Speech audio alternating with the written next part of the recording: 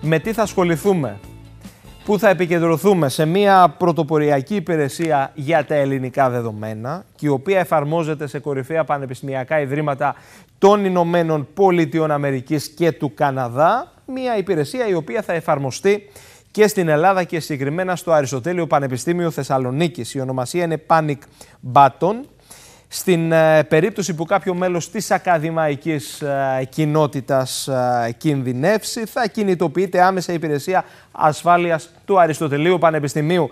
Πάμε να συνομιλήσουμε και είναι χαρά μας με τον πρίτανη του Αριστοτελείου Πανεπιστημίου Θεσσαλονίκη, τον κύριος Νίκος Παπαϊωάννου. Κύριε Πρίτανη, την καλησπέρα μας από Κρήτη. Πώς είστε, Καλησπέρα κύριε Παναγιωτόπουλε, καλησπέρα στην ωραία Κρήτη.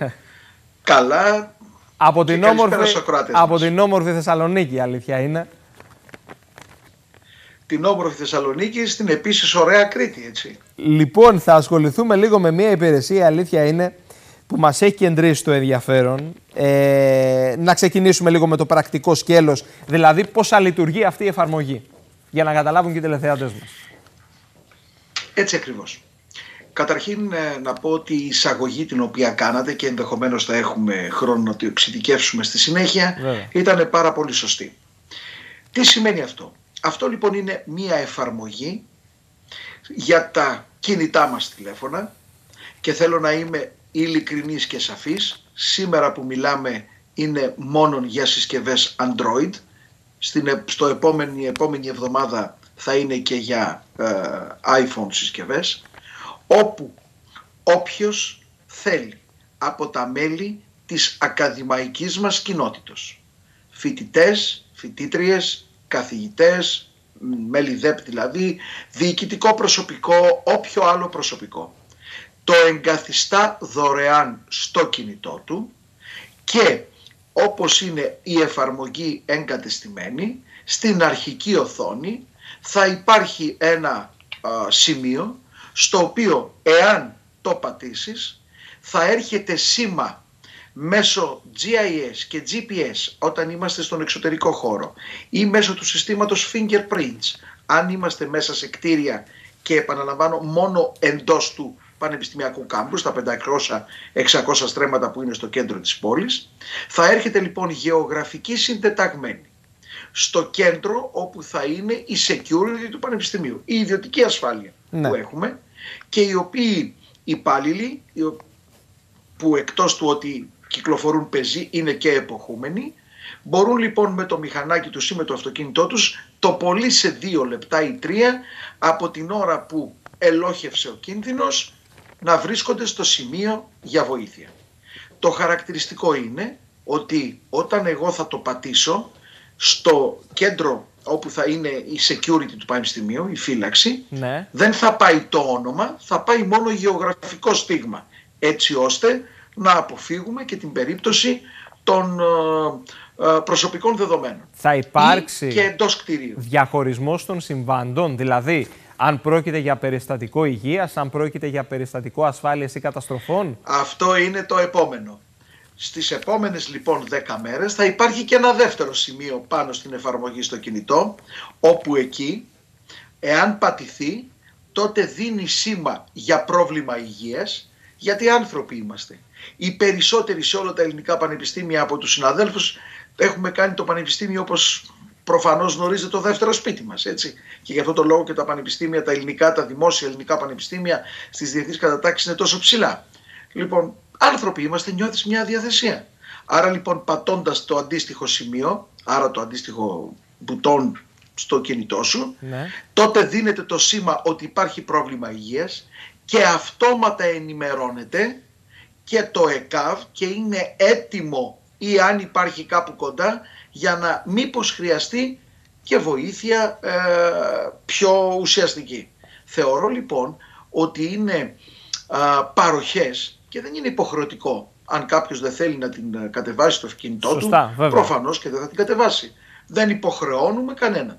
Απλώς ως διοίκηση είμαστε υποχρεωμένοι το αίσθημα ασφάλειας το οποίο υπάρχει μέσα στο κάμπους όλοι και νομίζω και από την ωραία Κρήτη υπάρχουν παιδιά που σπουδάζουν, έχουν οι γονείς παιδιά που σπουδάζουν. Εκατοντάδες περιπτώσεις. Θα δουν, έτσι, θα δουν ότι σε επίπεδο προστασίας από κλοπές, από ε, τέτοιου είδους ε, παρανοχλήσεις ε, του κοινού έτσι, ποινικού δικαίου, κοινού ποινικού κώδικα τα τελευταία δύο χρόνια δεν θα πω ότι έχουν εξαλειφθεί 100%. Έχουν μειωθεί Έχει αλλάξει τόσο το σκηνικό. Πολύ. Η αλήθεια είναι, κύριε Μπρίτανη. Έτσι, ε, έτσι διάβαζα κάποια στοιχεία για την περίοδο 2011-2017. Τα γνωρίζετε καλύτερα από μένα, το μόνο σίγουρο. Όπου το ΑΠΙΣΙΤΑ είχε μια θλιβερή πρωτιά σε περιστατικά καταγεγραμμένα, ε, σε διαρρήξεις, σε εμπρισμούς, ξυλοδαρμούς, διακίνηση αρκεί ναρκωτικών. Να σας πω, κύριε Πα... Έτσι. Αρκεί να σας πω ότι από τον Σεπτέμβριο του 2009, ε, 2019, ναι. οι πόρτες, οι εξωτερικές του κάμπους από τις 10 η ώρα και μετά είναι κλειστές. Δύο, έχει φωτιστεί το κάμπους λες και είναι μέρα. Τρία, μετά από προτάσεις των ειδικών, διότι έχουμε και γεωπονοδασολογική σχολή, δεν υπάρχει θάμνος που να μην έχει κλαδευτεί γύρω-γύρω έτσι ώστε να αποφεύγουν αυτοί οι, οι εγκληματίες μικροδιακινητές ή διακινητές να αφήνουν ό,τι περίεργος σε εκείνα τα σημεία. Και τέλος, η ιδιωτική security του Πανεπιστημίου, η φύλαξη που έχουμε, λειτουργεί πλέον τόσο οργανωμένα που βρίσκεται δίπλα από το κάθε μέλος μας. Μάλιστα. Όμως θεωρήσαμε ναι. ότι όπως είπατε και σε αμερικάνικα και σε ευρωπαϊκά πανεπιστήμια, ιδίως στη Μεγάλη Βρετανία, είναι ε, μια τεχνογνωσία την οποία αναπτύξαμε μόνοι μας, δεν την πήραμε από πουθενά. Και σε αυτό το σημείο πρέπει να δώσω συγχαρητήρια στο κέντρο, τους συναδέλφους του Κέντρου Ψηφιακής Διακυβέρνησης του Πανεπιστημίου που σε συνδυασμό με ένα εργαστήριο γεωπληροφορικής του τμήματος τοπογράφων με τον καθηγητή Πατιά επινόησαν και έφτιαξαν το λογισμικό από την αρχή μέχρι το τέλος μόνοι τους. Και έχετε εκφράσει και έχουμε και τη δυνατότητα και τη θέληση και την επιθυμία, να το παρέχουμε σε Ακριβώς και με αυτό θέλω να κλείσουμε, να παρέχετε αυτή την τεχνογνωσία και σε άλλα ακαδημαϊκά Όποιος ιδρύματα της χώρας, ε, προκειμένου να υπάρξει συνέχεια. Ακριβώς. Ακριβώς. Κύριε Παναγιωτόπουλε, εκείνο που θέλω να πω ότι το παρέχουμε δεν είναι ότι είμαστε καλοί άνθρωποι. Είναι γιατί πιστεύω ακράδαντα ότι ό,τι πρωτοποριακό παράγεται μέσα στους τέσσερις στίχους εν τη ευρεία ενία ενός πανεπιστημίου είναι είμαστε υποχρεωμένοι ως ακαδημαϊκοί δάσκαλοι και ερευνητές ως μικρό αντίδωρο να το ανταποδίδουμε στην κοινωνία. Και αυτό λοιπόν είναι η λογική της παροχής, της ανταπόδοσης. Βρήκαμε κάτι, το δίνουμε. Είναι κάτι καλό, θα το χρησιμοποιήσουμε. Δεν είναι, δεν χρησιμοποιείται. Άρα λοιπόν πρέπει να ανταποδώσουμε ως πανεπιστήμια στην κοινωνία αυτά που παράγουμε εντός εισαγωγικών. Ένα σχόλιο και με τη διαχείριση της πανδημίας εντός του ΑΠΕΘΙΤΑ. Πώς κυλούν, πώς κυλούν τα πράγματα; Ε, θα μιλήσω για την περίοδο των εξετάσεων. Ναι. Αν και υπήρξαν, δεν θα το έλεγα κακοπροαίρετοι, καλοπροαίρετες κασάνδρες, νομίζω ότι διαψεύστηκαν. Οι, φοιτήτριες και οι φοιτητές μας τηρούν απαρέγκλητα όλα τα υγειονομικά μέτρα. Οι εξετάσεις έχουν κυλήσει και σχεδόν ολοκληρώνονται τέλεια. Σε κάθε τμήμα, κάθε μέρα το πολύ τρία ή τέσσερα άτομα είναι τα λεγόμενα κοκκινισμένα, αυτά που στο EduPass δηλώνουν ότι έχουν πρόβλημα.